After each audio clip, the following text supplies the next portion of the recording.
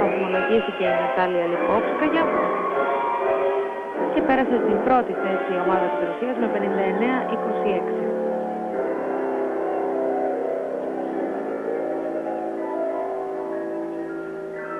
Και αυτή η αθλήτρια που βλέπουμε είναι η Ευγένεια Παυλίνα από την Λευκορωσία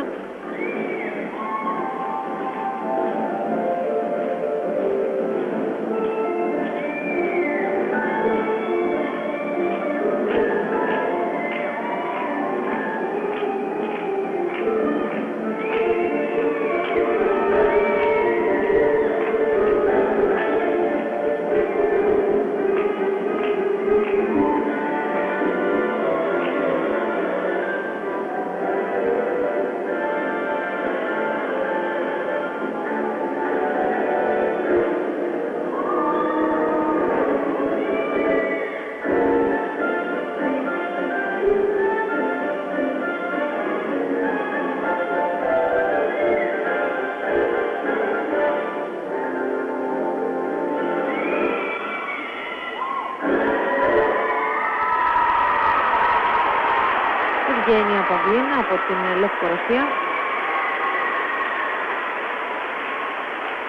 Μια αθλήτρια της Δυναμό Τρίτη στο Παγκόσμιο Πρωτάθλημα της Βουδαπέστης στην Κορδέλα.